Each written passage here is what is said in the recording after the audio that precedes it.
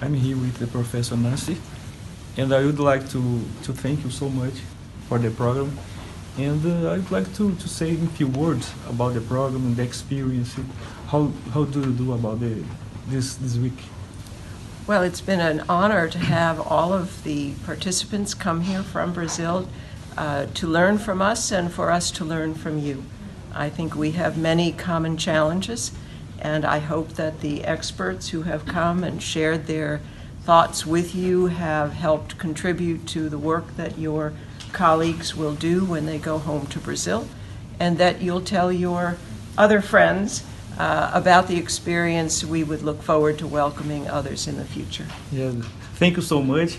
And I expect the, last year, the next year, we have it again. Thank you so good. much. We would look forward to welcoming you. Thank you.